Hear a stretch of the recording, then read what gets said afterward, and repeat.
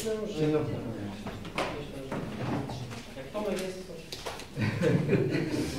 Czekałem, czekałem, to to powiem.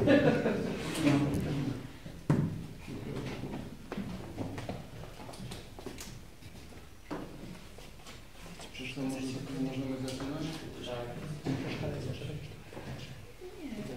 Poprosiłem Państwa e, na dzisiejsze spotkanie, e, ponieważ e, e, jak Państwo wiecie, e, w dzisiejszym numerze Głosu Ziemi Cieszyńskiej ukazał się artykuł informujący e, o tym, że urzędnicy e, ratusza mają postawione prokuratorskie zarzuty, a nawet jest już w tej sprawie wyrok Sądu Rejonowego w Cieszynie, więc chciałbym, żeby uniknąć pewnych nieporozumień lub jakichś dodatkowych plotek, odczytać takie stanowisko burmistrza dotyczące sprawy karnej sekretarza gminy i naczelnika Wydziału.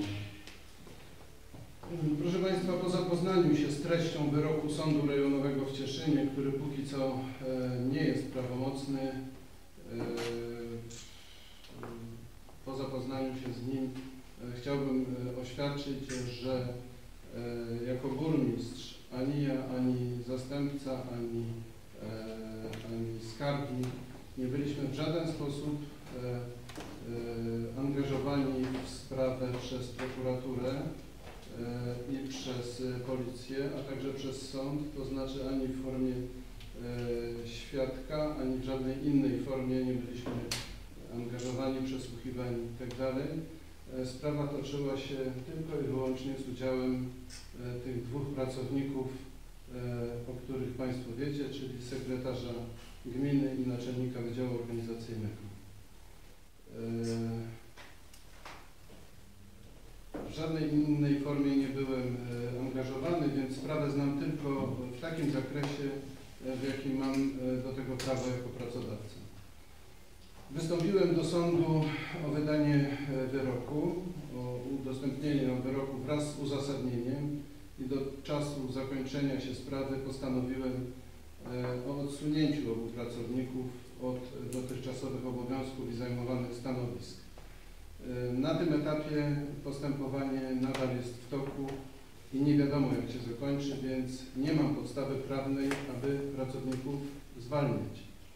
Wewnętrzne postępowanie wyjaśniające wykazało, że sprawa dotyczy jednego rachunku na kwotę 2600 zł brutto.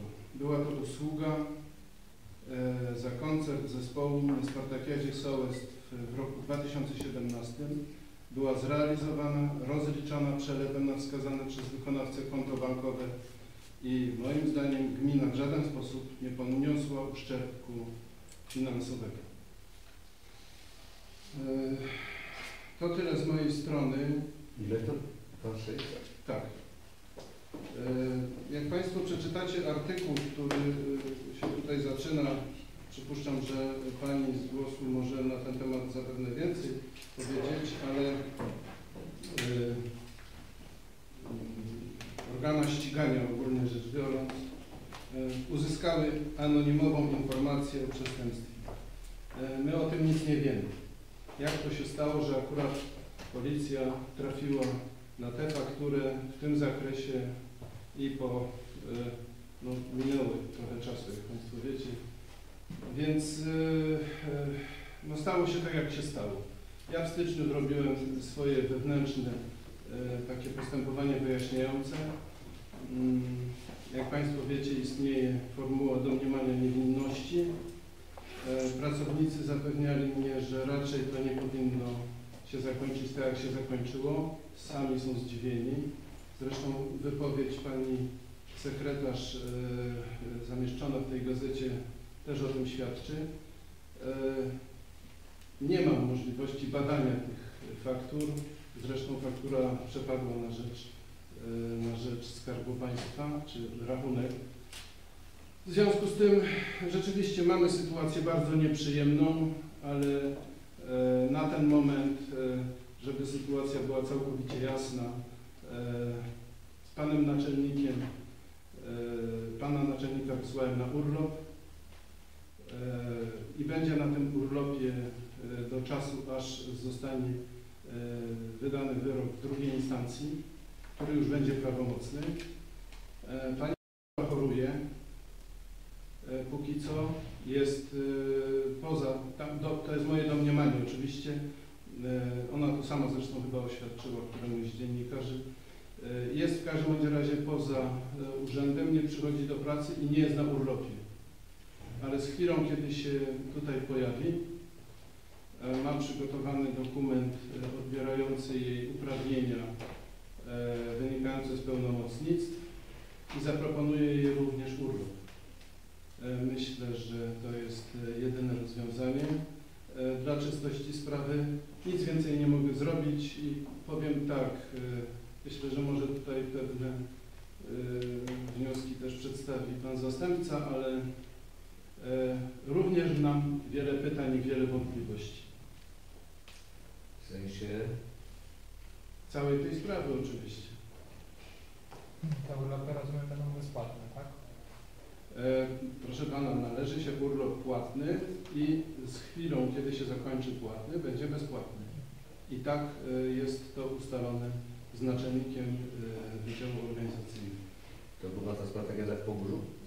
Nie, to była Spartakiada, która była w 2017 roku e, w, na stadionie miejskim w Skoczowni. Y, Czy w tej sprawie były może, albo są, albo będą toczyły się jakieś wewnętrzne kontrole w, w, tym, w tym obszarze, w tych wydziałach? Nie ma tutaj takiej potrzeby. Skarbnik nie widzi takiej potrzeby. My w międzyczasie mieliśmy kontrolę RIO, która nie wykazała żadnych nieprawidłowości. Ja chcę powiedzieć, że e, zanim ta Spartakiada się e, odbyła, e, została z firmą, która tą usługę wykonywała, podpisana przeze mnie umowa. A rachunek jest konsekwencją wykonania usługi, bo To o co chodzi? To są pytania, na które ja Panu nie odpowiem. Zastrzeżenia budzi sposób, z tego co e, czytam w wyroku, to znaczy czytam, e, udostępnił mi go e, Pan Naczelnik. Oficjalnie wystąpiliśmy o wyrok i uzasadnienie, być może wtedy będę wiedział więcej. Te pytania, o których mówił Pan Burmistrz, odpowiedzi oczekuje Pan od organów ścigania? Nie, ja oczekuję na e, wyrok Uzasadnienie. i uzasadnienie. Natomiast e, myślę, że nie uzyskam żadnych odpowiedzi z organów ścigania, bo oni zakończyli swoje postępowanie i ono jest e, zakończone wyrokiem sądowym. Ten wyrok sądowy kiedy on zapadł, potem musiał być niedawno. chyba. E, 30 grudnia. A I od tej pory nic, nikt nic nie wiedział tu? Nie, wiedzieliśmy. Tak jak powiedziałem, e, prowadziłem wewnętrzne e, postępowanie wyjaśniające, a występowałem o, a wystąpiłem o treść wyroku, o wyrok do sądu i uzasadnienie. A z tego co wiem, to kwestia była tam wystawienia umowy o dzieło dla tego zespołu. I pytanie, dlaczego tą sprawą się zajmował właśnie sekretarz gminy Wydziału Organizacyjnego, a nie na przykład Miejskie- Centrum Kultury Integrator? E, Ponieważ była to Spartakiada Sołectw i zawsze się tym zajmowałem. Z podziału zadań wynikało, że organizatorem Spartakiady Sołectw jest Wydział Organizacyjny, a koordynuje go sekretarz. A jaki był koszt łącznie tego konceptu? 2600 zł. Czyli 2240 zł netto. O takiej kwocie, Szanowni Państwo, mówimy, także trzeba też dementować to, bo e, wygląda to e, na, e, no te, o tej kwocie nikt nie mówi, tak?